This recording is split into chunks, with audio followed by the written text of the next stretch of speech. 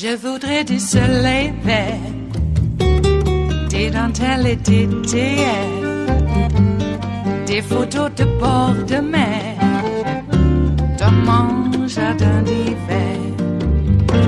Je voudrais de la lumière, comme en Nouvelle-Angleterre. Je veux changer d'atmosphère dans mon jardin d'hiver. va fleur sous la pluie de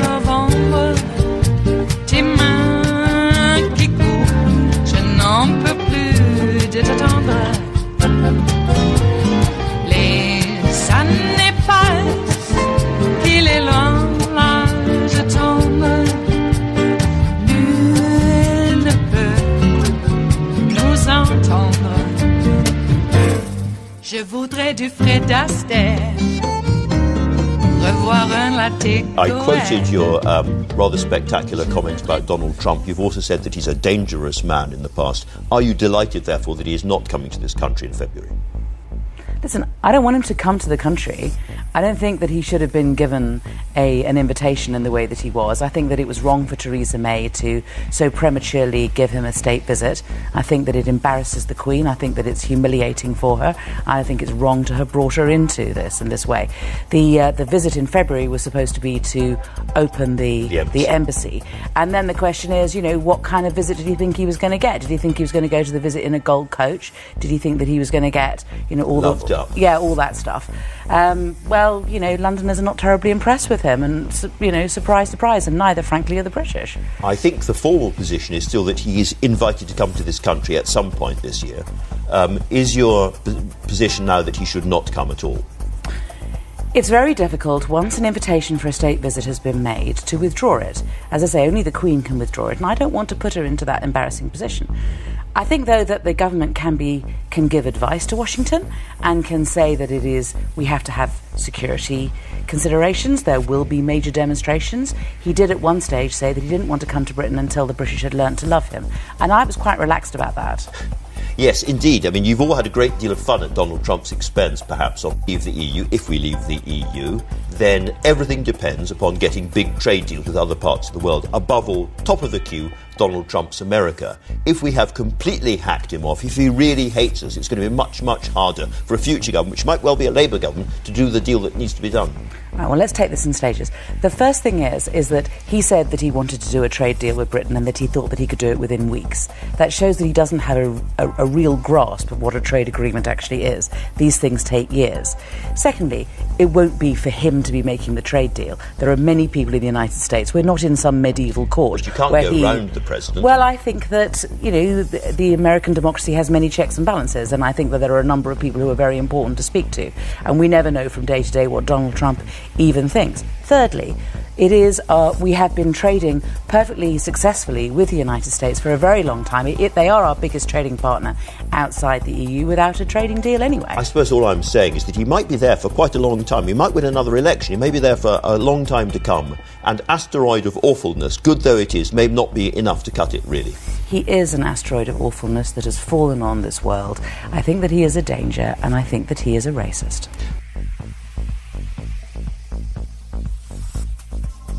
It is Tuesday, January 16th of 2018, and you are in West Coast Cookbook and Speakeasy. I am your chef de cuisine, Justice Putnam, and our daily special is Terrytown Chowder Tuesdays. You are in the right place, folks. Don't go to Mar-a-Lago. You might have a few problems when you get home. You may not be able to leave the house except to go to the ER Um, little point of uh, admiration I need to make on my part is that in real life, I never got, I, I always got a stellar health department inspection report. So I don't know how. Yeah, you, you know what I'm talking about in terms of Mar-a-Lago. They're uh, they failed, got 15 violations this last time uh, on a health inspection. Ew. Ew. And when when uh, the Japanese premier was was in town, uh, that's when I reported when when we were still the after show uh, that uh, when Abe came to visit, the they they were cited for uh, keeping their sushi in uh, unsafe uh, temperature, and they didn't do the routine uh, protocol to you know get rid of parasites because you don't really want to have sushi and then get a parasite. It's it's I don't know. That's an additive that I prefer to do without. So, folks, you are in the right place. You can rest assured you will not get salmonella, E. coli, or any of the other things you might find in an asshole place like Mar a Lago. Oh, yes. Okay. Well, what are we attending to today here in the Bistro Cafe part of uh, West Coast Cookbook and Speakeasy? Uh, starting off, that was Emily Thornberry. She's a UK Labour Party leader. And uh, uh, pretty glad. They are pretty happy. Or let, us put it this way because it's the Brits. They are relieved that Donald Trump is not going to show up for any kind of state visit. I heard nothing about uh, whether Obama, you know, is going to be able to go to the royal wedding. I mean, he's only friends with the wedding couple, and Donald Trump is not friends with the wedding couple, and now apparently he has very few friends in the whole of the British realm. Okay, well, then, on the rest of the menu, Walmart finally apologizes to a black Montana State University professor after ignoring a racist incident by an employee for over a year. Guy was just trying to get a fishing license, and uh, I guess somebody didn't like the fact he was black. They can do that now. They used to be able to do it all the time. Then there was a snippet of uh, of time in which it was uh, you know really generally frowned upon, and now we're back to ah, let's just do it. I wonder. I wonder why. Okay, well, Tucker Carlson insists immigrants have made California the poorest state in the nation. Yeah, but with a surplus of, of over $10 billion, the state ranks as the sixth richest economy in the world. Well, let me tell you, Mississippi, they are the poorest uh, state in the nation. Tucker. And Sweden is creating a new government agency to protect it, its upcoming election from Russian and other propaganda. Hmm. I think the Russian one's pretty bad. And what other propaganda could they be getting? Fox News. You never know. After the break, we move to the chef's table for an analysis of why Martin Luther King and Robert F. Kennedy are more relevant now than they have been for decades. All that and more on West Coast Cookbook and Speakeasy. Bon appetit.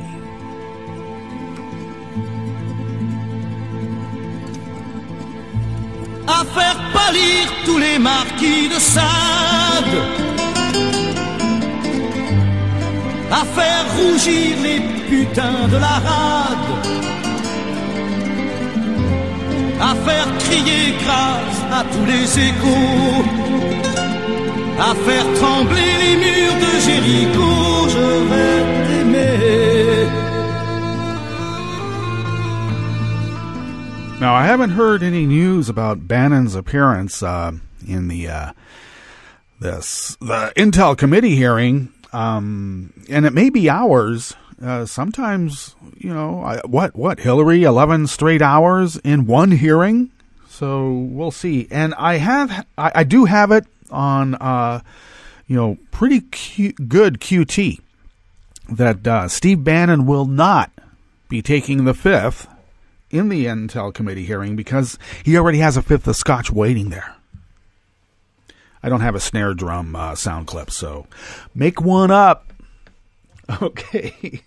All right. Our first uh, dish here at the Bistro Cafe part of West Coast Cookbook and Speakeasy is by Brad Reed. out of Raw Story. Walmart has finally issued a formal apology to a black Montana State University professor well over a year after a racist employee disparaged him when he w- went to get a, his fishing license renewed.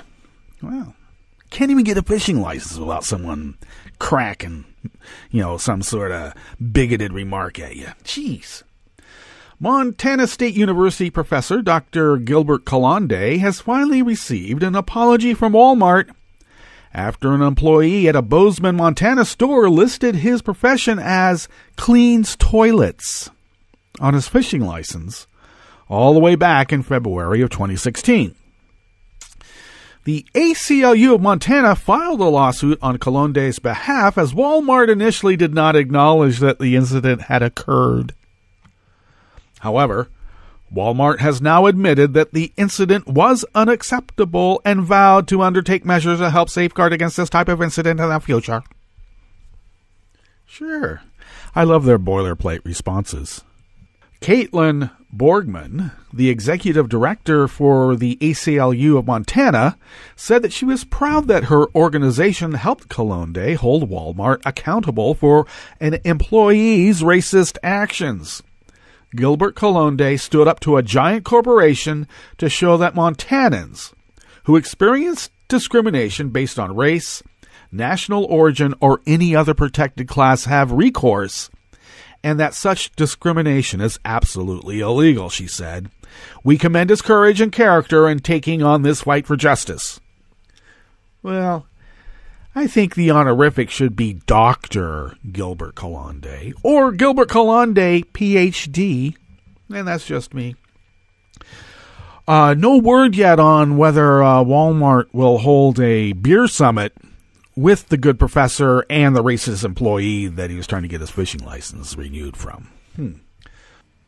All right, next dish here in the Bistro Cafe is by Carolyn Orr from Shareblue Media. Um, Tucker Carlson had a simple question, and uh, his question was simple indeed.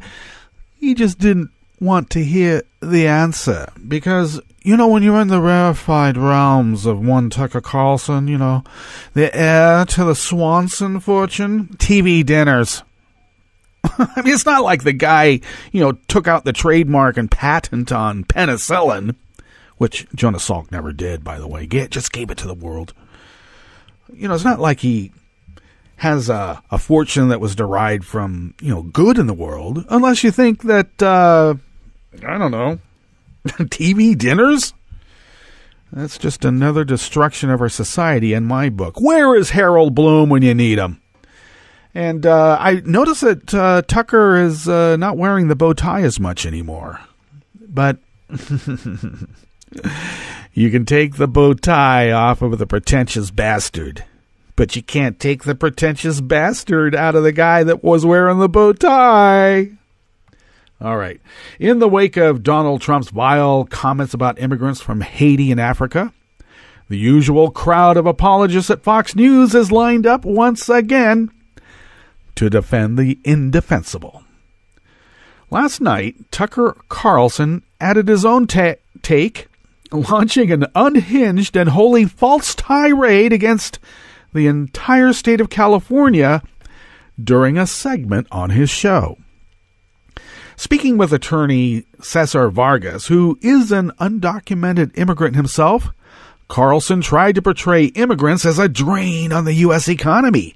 Since California has more immigrants than any other state in the country, Carlson chose to focus his ire there a really simple question. If more immigration always makes the country richer, then why does the state with the most immigration, which is California, keep getting poorer? It now has more poverty than any state. One out of five Californians is poor. If immigration makes us richer, why is California getting poorer? What's the answer to that, I wonder? Well, I would just say that California has a surplus of more than $2 into the uh, state economy.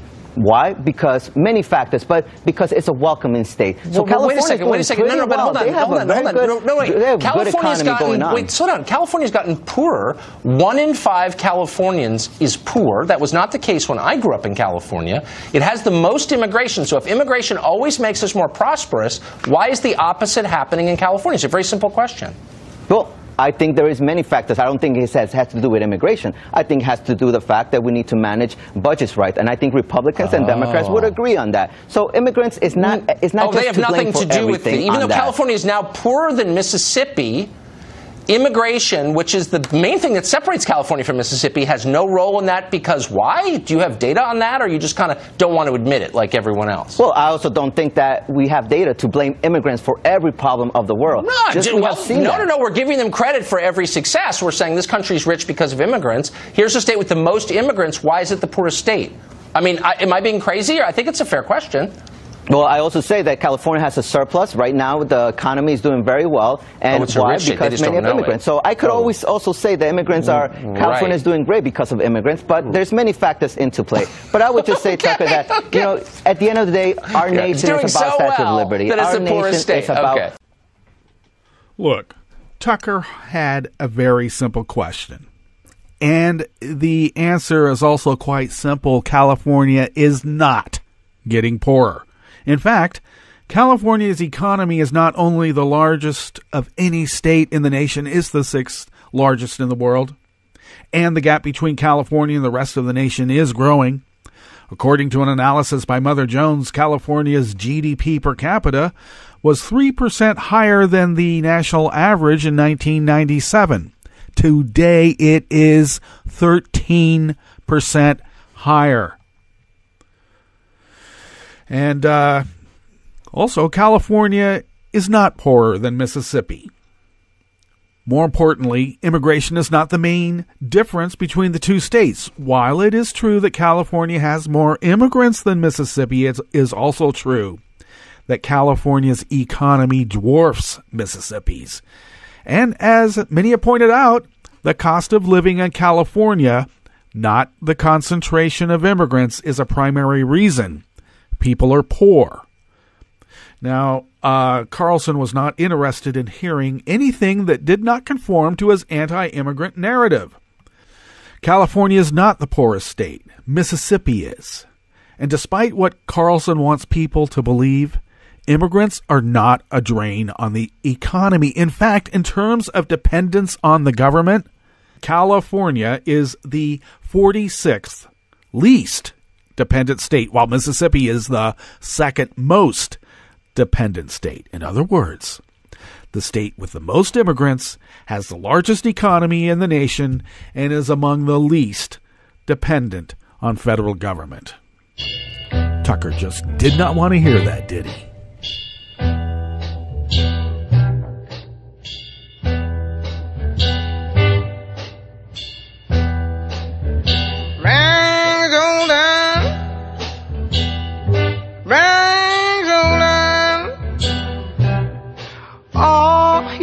Was buying was just rags and old iron.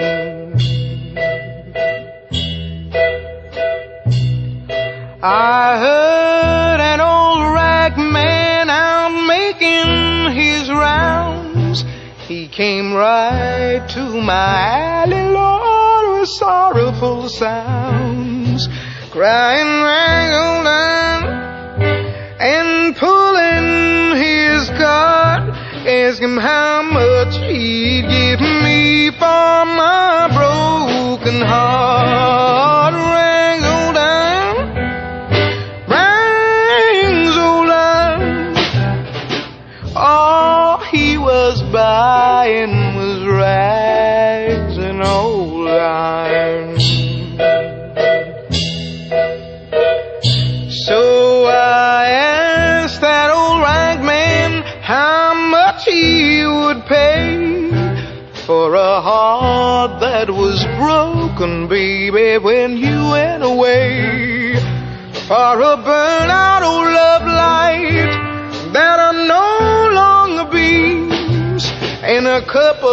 of slightly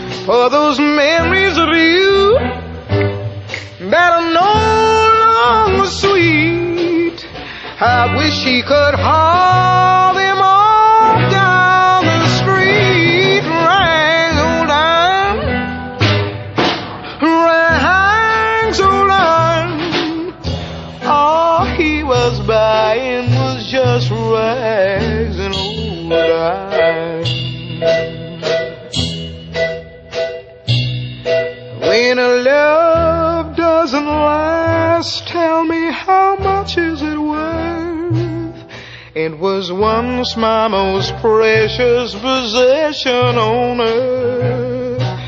When I asked that old rag man, he'd like to buy. He just shook his head and continued to cry.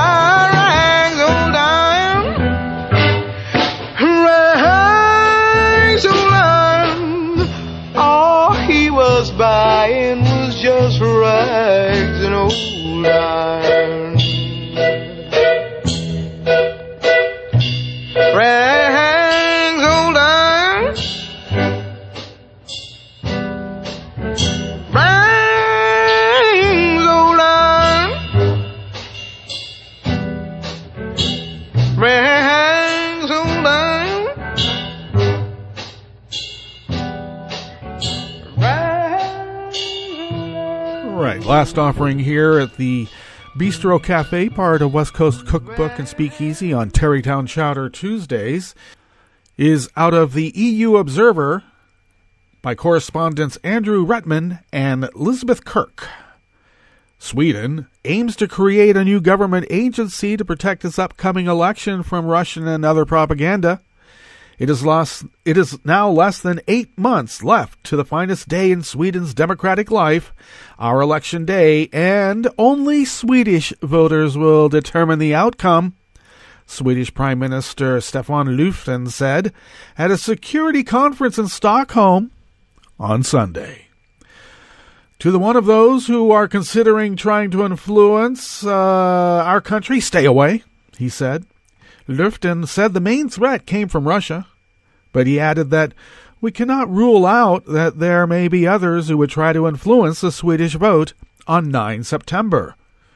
Is Cambridge Analytica have an account there in Sweden? Let us find out.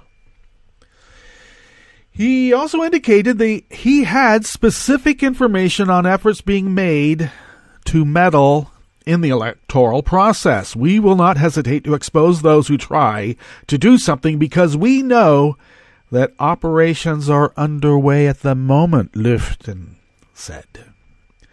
He said the new Swedish agency would be created immediately and would be responsible for bolstering the psychological defense of the Swedish public by identifying, analyzing, and responding to external influence campaigns. Now, the counter propaganda agency was part of wider measures to safeguard the election, the Prime Minister noted. Those included increasing funding for Swedish intelligence and cyber defense services to monitor external threats. Löfven said he would hold a series of meetings with Swedish political party leaders in the spring on how the parties can increase protection and resilience about the risks of influence during the election process. He also said he would hold in depth discussions with Swedish media and with social media firms to increase awareness of foreign influence. Does Zuckerberg know about this? Ah, Löfven said he would hold a series of meetings uh, in, and talk about how the Swedish vote will pit Löfven's center left Social Democratic Party against the center right Moderate Party and the far right Sweden Democrats Party, which came third in the last election in 2014 and which has continued to gain support. Is Murdoch there? All right. Uh, Russia has a track record of using cyber attacks and propaganda campaigns to help populist candidates in recent elections in the U.S., France, and Germany. There is increasing evidence that it meddled in the Scottish independence referendum in 2014, the Brexit referendum in 2016, and the Catalan independence vote last year. I want to know what they did in uh, Michigan, uh, Wisconsin, and uh, any other state. I'd like to know. The U.S. Senate, in a report last week, also warned that Italy could be a target for electoral interference by the Kremlin when Italians go to the polls on the on the 4th of March. The U.S. report noted that Nordic states were a favorite target of the Kremlin's propaganda machine. It added, when it comes to exhibiting strong immunity against Russian malign influence operations, the Nordic states are also exemplary. The report said this was due to two factors. The Nordic countries' extraordinary educational systems that emphasize critical thinking skills and extremely low levels of corruption. Unlike the United States, I think that we fall very far down on the scale on those two uh, metrics.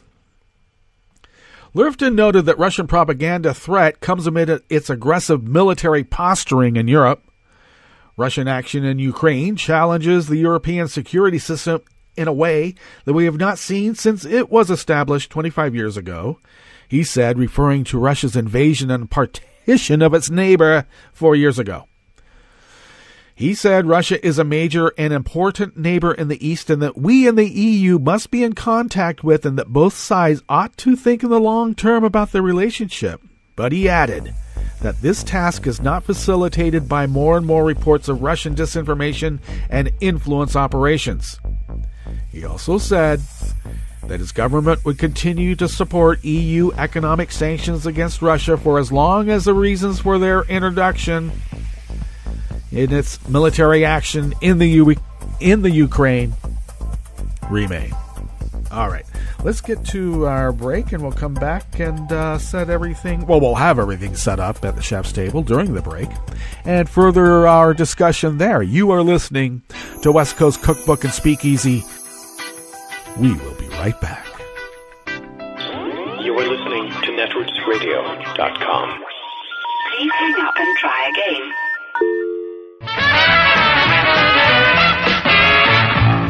From a point at sea to the circles of your mind, a new force is at work for planetary transformation.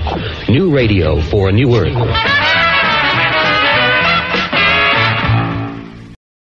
This is Take Two Movie Review. I'm Clinton Johnston. This week, not your daddy's Churchill. It was about two years ago when director Joe Wright started work on his latest release, Darkest Hour, a film about the first month of Winston Churchill's tenure as Prime Minister, May of 1940, where he had to manage both the crisis at Dunkirk and the crisis of confidence in him within his own party leadership, who saw peace with the Nazis as the best way to save England from Adolf Hitler's unrelenting war machine. In 2016, there was no Christopher Nolan's Dunkirk and no Netflix show The Crown with John the Powerhouse Lithgow as Churchill. So a movie about England's famous wartime bulldogs seemed like fresh territory. Oops. Still, it is writer Anthony McCarten's and director Wright's take on Churchill that allows this movie to stand out among simultaneous depictions. Rather than showing him off as the gruff, firm bulwark of English resistance that stared down the Nazi blitzkrieg, Writer and McCarten give us a surprisingly fragile and erratic Churchill, one who fails to inspire confidence in his king and war council and privately flails in his own insecurities and doubt. No wonder he smoked like a chimney and drank like a punctured U-boat.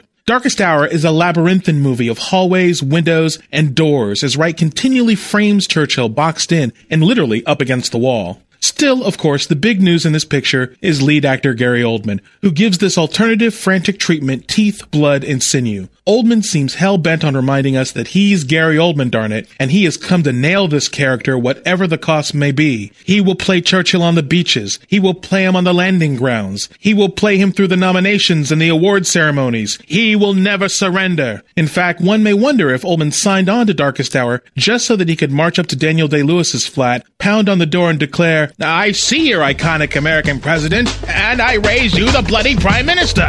This has been Take Two Movie Review. I'm Clinton Johnston. Catch up with us at TakeTwoMovieReview.com and feed us back on our page on YouTube.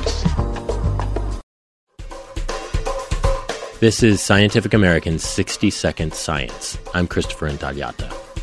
To learn about the plant life of long ago, scientists dig through layers of the Earth looking for fossil clues, like bits of fossilized pollen or spores. And that's where I come in. Timo van Eldijk is an evolutionary biologist at Utrecht University, and he was called into action when his pollen hunting pals noticed something altogether different. In a sample of sediment more than 200 million years old, dug from a thousand feet below the surface of Germany, they found bits of insect. I took a human nose hair because that's the way you isolate these things. You have a needle tipped with a human nose hair. It's apparently it has just the right springiness for the isolation. Whose nose hair was it? Uh, yeah, I, I don't actually know. There was a joke going around that's one of the professors, but uh, we, we don't know. So, using someone's nose hair, Van Eldijk picked through the sludgy sediment and isolated the tiny scales of moth wings. That's the stuff that looks like dust if you touch a butterfly or moth. His team scanned the scales with an electron microscope, and they made a crucial discovery. Some of the scales were hollow. The fossil record shows that First came the proboscis, then came the hollow scales. We can then infer if we find the hollow scales, there must already have been a proboscis. So, what's the big deal? Well, the finding means that these samples predate existing evidence for the first butterfly tongues by 70 million years, which in turn implies that an early version of the proboscis, which in modern insects can pry into a flower's nooks and crannies for nectar, appears to have evolved before the appearance of flowers, not as a response. The studies in the journal Science Advances. The early proboscis might have been used to pluck drops of liquid from the tips of ancient forms of today's pine tree cones, and it's clear that these sucking tongues underwent a lot of remodeling after the emergence of flowers, too, as flowers and moths co evolved. But Van Eldijk is hoping insect scales might become more widely used as a tool to investigate the ancient world. We're hoping that people will start recognizing them in other places. You can even imagine sort of a scenario in which we can reconstruct past ecosystems based on the scales that you find in a core, much similar to the way we do it with pollen now. All scientists have to do is follow their noses, or at least their nose hairs. Thanks for listening. For Scientific American's 60 Second Science, I'm Christopher Intagliata. Welcome to 60 Second Civics, the daily podcast of the Center for Civic Education. I'm Mark Gage. Congress set up the judicial branch of government under Article 3 of the Constitution. Article 3 provided for a U.S. Supreme Court and said that Congress could establish lower courts as needed. In 1789, Congress passed a law that organized the court system for the new nation. This law was the Judiciary Act of 1789. It stated that the U.S. Supreme Court was to have a Chief Justice and five Associate Justices. Over time, Congress has increased the size of the court to nine justices. The lower courts that were authorized by the Judiciary Act include two kinds of courts federal district courts, which hear cases involving the Constitution and federal laws, and appellate courts. Appellate courts handle those cases that have been tried first in district court and have been appealed. The appellate court is a higher court than a district court. But the U.S. Supreme Court is the highest court of appeals in the nation. In addition to the federal courts, each state has its own courts to rule on state laws. That's all for today's podcast. The show's theme song is Complacent by Cheryl B. Engelhart. You can find Cheryl online at cbemusic.com. 60 Second Civics, where civic education only takes a minute.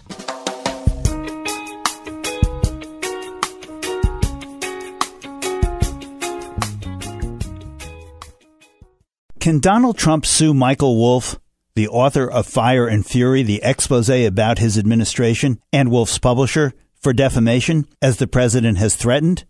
I'm Bill Newman, and this is the Civil Liberties Minute. Over the course of his real estate and reality TV career and his presidential campaign, Donald Trump has threatened to sue media outlets that said something about him that he didn't like 34 times. 30 of those threats evaporated. Four times, though, he actually filed lawsuits. Three of those four were quickly thrown out of court, and one had some sort of a settlement. So the odds of Trump actually suing based on his past performance and threat after threat after threat is tiny, tiny, tiny. And the odds of this threat should be even tinier. Because the President of the United States is a public figure, and a public figure faces an extraordinarily high bar for bringing a defamation lawsuit. And no speech is more protected in America than political speech about the President of the United States. Political opinions are not defamatory. They're just opinions. And in a defamation suit, truth is an absolute defense. We're not going to try to predict what President Trump will do. But if he sues, we have some faith that courts will ensure that the First Amendment withstands his assault. The Civil Liberties Minute is made possible by the ACLU because freedom can't protect itself.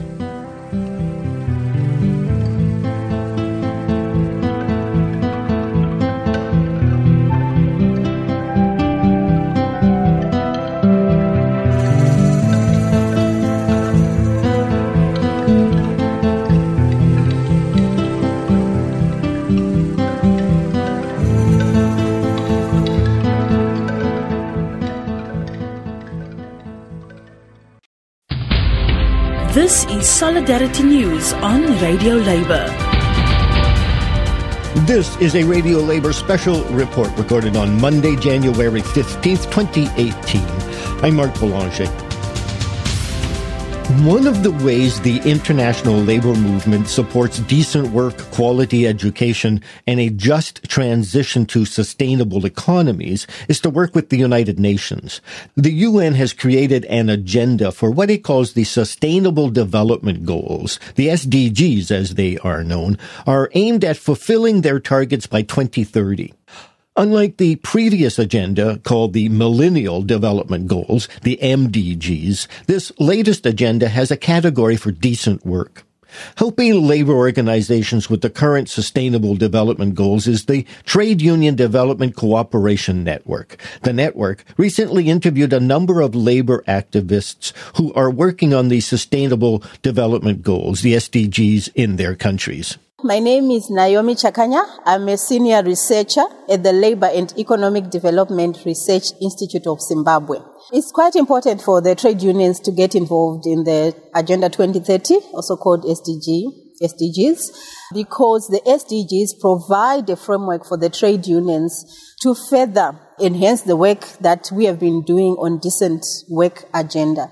So the decent work agenda contains four pillars: employment uh, creation, workers' rights, social protection, and social dialogue. And all these four objectives of the decent work agenda are encompassed in the Agenda 23 in various goals that we have.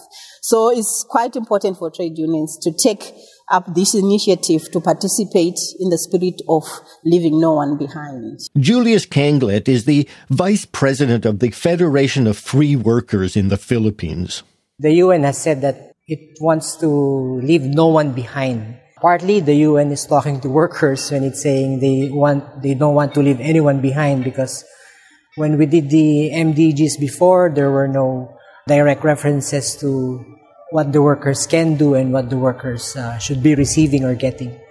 So having an SDG dedicated for decent work is a major step by the UN towards leaving no one behind. And I think it's very important to workers because without workers, I think we won't be able to achieve the other SDGs. Like, for example, we want education for all, but is anyone talking about the welfare of teachers? We want universal access to health, but who's talking about the welfare of uh, health workers? Uh, same thing about gender equality. Uh, when was the last time the UN talked about the fate of uh, women workers? Same thing with young people. They talk about youth empowerment and everything, but uh, what discussions have been made about young workers? So I think uh, it's very important for trade unions to actively take part in making sure that we achieve the Agenda 2030, that we achieve all of these SDGs, and uh, workers are enablers, uh, not only for the betterment of society, not only for progress, but specifically for the achievement of the SDGs. My name is Marissa Leroux. I'm working at the CGSLB Belgium in the international department. So for our organization, it was clear from the start that it will be a very important agenda. It is an agenda for us for the next uh, 15 years. So we invested a lot of time and energy into following the debates on the implementation of the Agenda 2030, and we decided as a trade union that we will also continue the work within our union itself.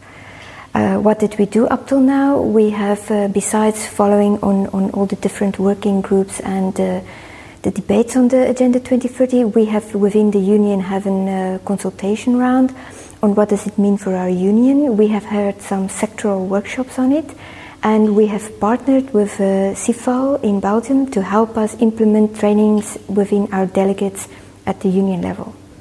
The government in Belgium do take a lot of time and, and effort in trying to implement this process as good as they can, and we welcome this. We have also noted that they have taken up a number of our issues in their key uh, statement messages published on the website of the UN. And that's it. International labor news you can use. I'm Mark Boulanger. Thank you for listening. And remember, it's all about global solidarity.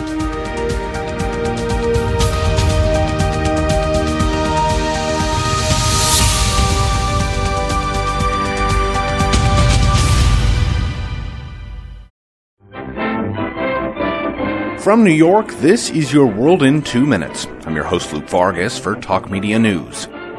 Here's a sound you might hear next month during the Winter Olympics in South Korea.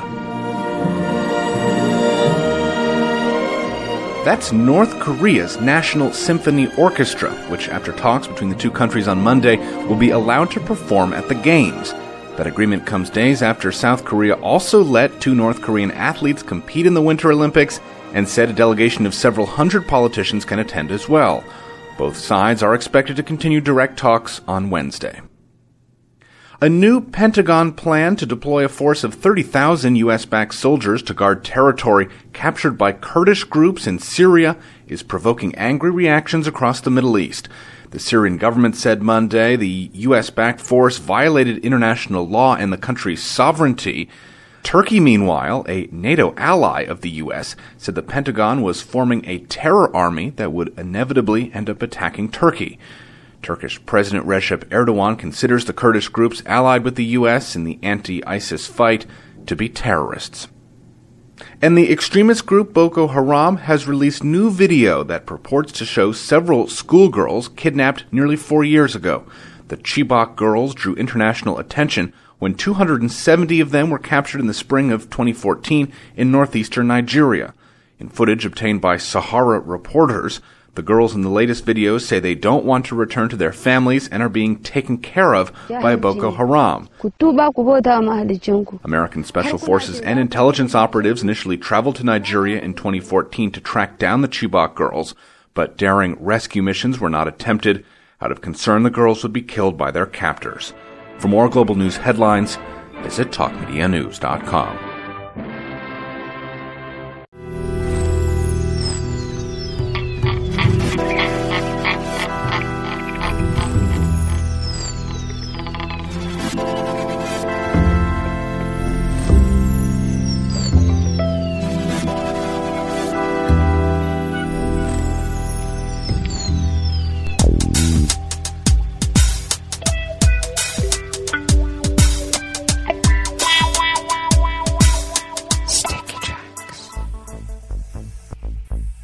Thank you for accompanying us back here to the chef's table. The Bistro Cafe has now been broken down and uh, cleaned up and put back into its camouflage mode as, uh, well, a rather sedate Bistro Cafe with a bunch of cookbooks.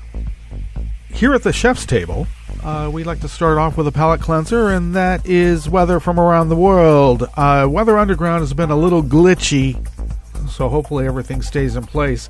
We start off along the banks of the Rogue River in the Rogue River Valley of southern Oregon on the west coast of the continental United States of America is currently 37 degrees Fahrenheit. We're going to look at a high of maybe 55 degrees tonight, a low of 42. We are currently raining and uh, well actually let me let me rephrase that. It would be rain anywhere else in America Right now it's just drizzling. Okay, drizzling.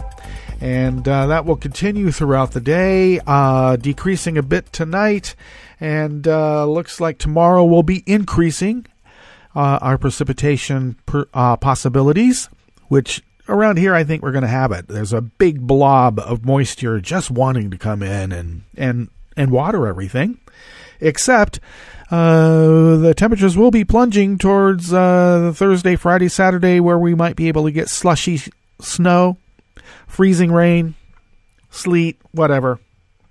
Looking forward to it. Skiers will love it, drivers will hate it, though you have to drive to get to the ski lodge. Okay, weather from around the world is brought to you by people's personal weather stations that they purchased, and these people live around the world. London is currently 44 degrees and partly cloudy. Paris is 44 with rain. Rome is 56 with scattered clouds. Kiev is 18 degrees Fahrenheit with light snow. Kabul is 52 and clear. Hong Kong is 68 and clear. Tokyo is 43 degrees and clear. Uh, Sydney, Australia is 65 and mostly cloudy. San Francisco, California is 55 and overcast, and New York, New York is 32 degrees overcast with a weather advisory of, well, some more freezing weather. So prepare. And that is weather from around the world brought to you by people's personal weather stations that they purchased, and these people live around the world.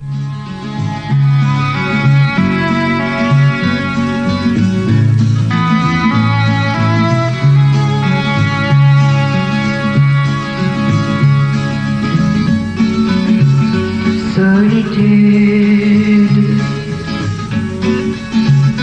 solitude.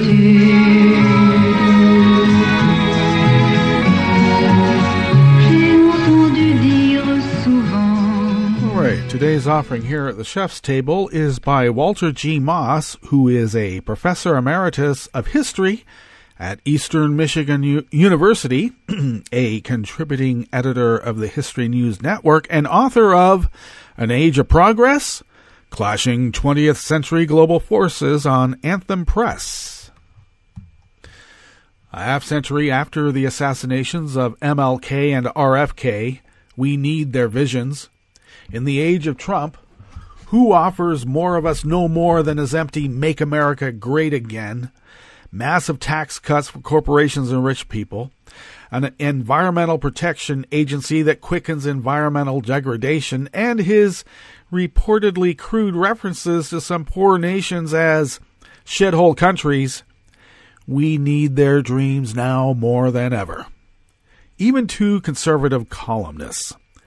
David, we refer to him as David fucking Brooks. Okay, just to be clear, because we, we take Driftglass, uh, his lead on that.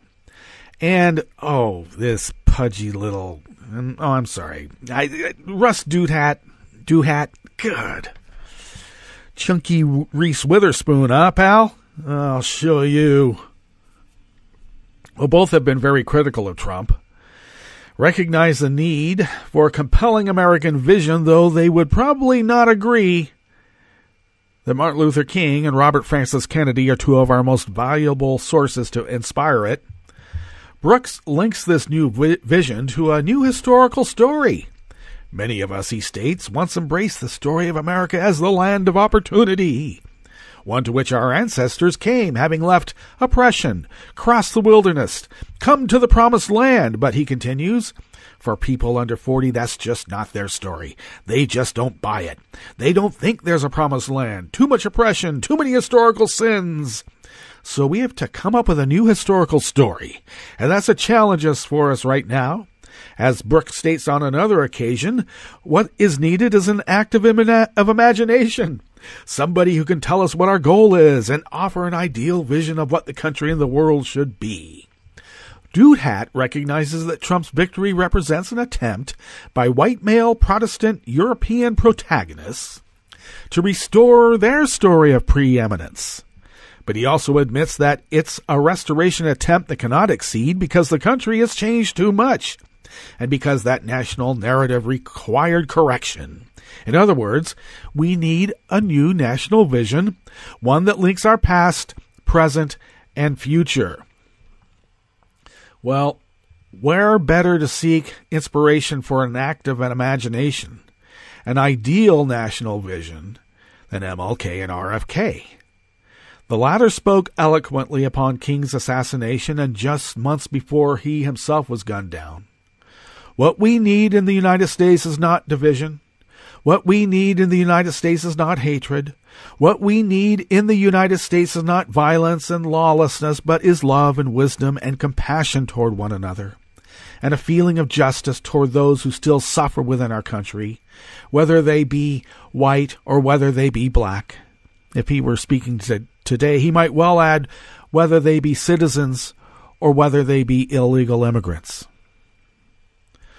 Although in honor of Martin Luther King, just a few more points about RFK and his vision. He combined an idealistic view with pragmatic realism. The title of RFK's 1967 book is To Seek a Newer World, a phrase he borrowed from one of his favorite poems, Tennyson's Ulysses. In his book, Kennedy affirms his belief that idealism, high aspirations, and deep convictions are not compatible with the most practical and efficient of programs. In chapters on youth, race, nuclear controls, relations with Latin America and China and the Vietnam War, he attempted to demonstrate the validity of his belief. In a new foreword to the 2002 edition of his RFK biography, Arthur Schlesinger wrote that he joined idealism in his purposes with realism in his methods. He was a man of passionate conviction. He was at the same time a tough and experienced politician who understood the uses of power and government. RFK was a unifier. As, you, as Newsweek noted in 1968, after RFK's victory in the Democratic Indiana primary, in a painful era of racial polarization in the U.S., he managed to bridge the chasm separating the gut elements of the traditional Democratic coalition. He swept the Negro vote while at the same time piling up big leads among backlashy white working men, the same group that whistled Dixie for Alabama's George Wallace in the primary four years ago and overwhelmingly voted for Trump in 2016. In addition, RFK appealed strongly to Hispanics throughout the U.S. But if RFK demonstrated great political political skill in unifying blacks, white working men, and Hispanics, Martin Luther King soared above him in his visionary rhetoric, in his ability to imagine a better future for Americans, and who can forget his I Have a Dream speech. And his vision was not just limited to racial harmony. King was a longtime admirer of Gandhi and his teachings on nonviolent resistance, and he dreamed of a more nonviolent, less impoverished, and less materialistic world. In 1964, the Nobel Prize Committee recognized his commitment to peace when they bestowed their annual prize upon him and this was before we escalated our involvement in Vietnam, which prompted his eloquent protest in his Riverside Church speech of April 1967. In it, he demonstrated that he possessed the imagination, empathy, and compassion needed to free us from the shackles of militarism, which is fueled by our nationalism. And I should add here, folks, that is not what the founding fathers intended. A standing military, bolstered almost like a endless loop by nationalism? No. What other American has emphasized so compassionately with a foreign people as he did with his Vietnam with the Vietnamese in this speech? Now they languish under our bombs and consider, consider us not their fellow Vietnamese, the real enemy. They move sadly and apathetically as we herd them off the land into concentration camps where minimal social needs are rarely met. They know they must move on or be destroyed by our bombs, so they go. Primarily women and children and the aged. They watch as we poison their water as we kill a million acres of their crops. They must weep as the bulldozers roar through their areas, preparing to destroy the precious trees. They wander into the hospitals with at least 20 casualties from American firepower for one Viet Cong inflicted injury. So far, we have, may have killed a million of them, mostly children. They wander into towns and see thousands of children, homeless without clothes, running in packs and on the streets like animals.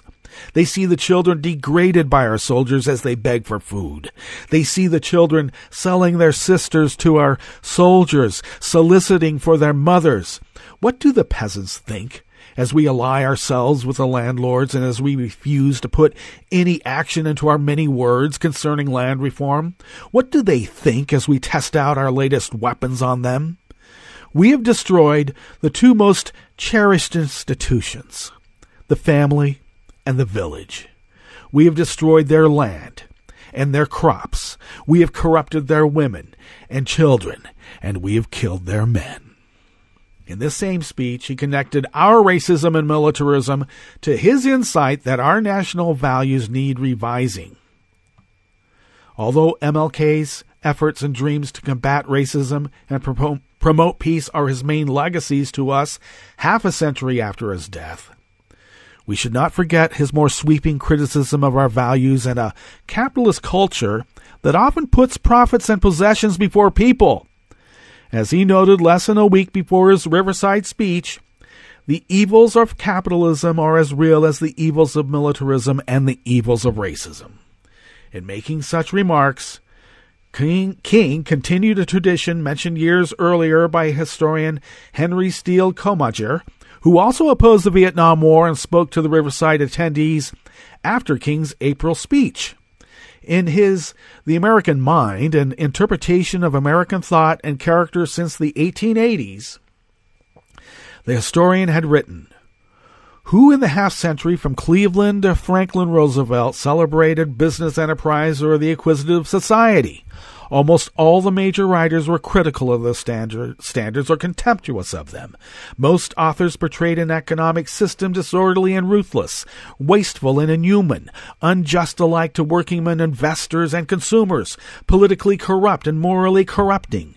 And what remained of the first half century, very few novelists revised the judgment been, which had been passed on the acquisitive society.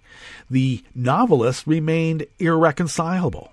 Unfortunately, both MLK and RFK have now been dead almost 50, 50 years, and no one at present in our public and political arena, certainly not Trump, has captured the national imagination with a compelling and unifying vision.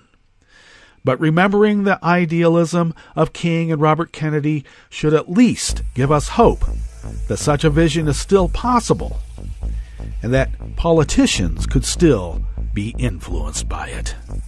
Indeed. All right, folks, uh, we'll meet up here tomorrow for uh, our Wednesday uh, edition of the West Coast Cookbook and Speakeasy uh, here. Of course, it'll it'll be Smothered Benedict Wednesdays because that's what we do. Okay.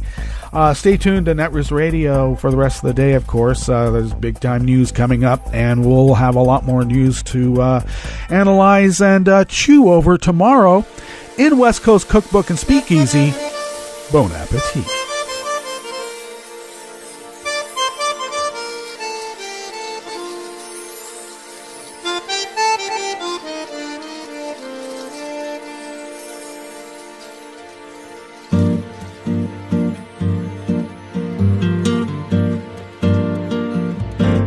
Je voudrais du soleil vert, des dentelles et des théâtres, des photos de bord de mer, dans mon jardin d'hiver. Je voudrais de la lumière, comme en Nouvelle-Angleterre. Je veux changer d'atmosphère, dans mon jardin d'hiver. va fleur sous la pluie de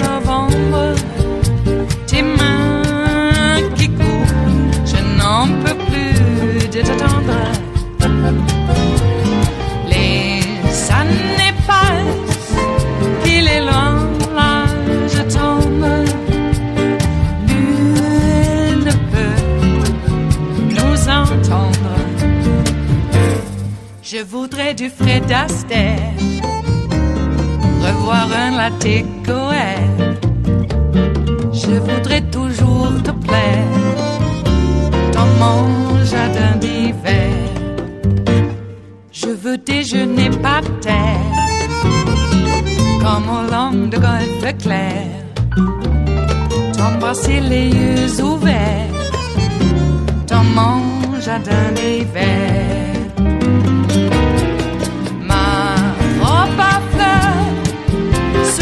celui de novembre.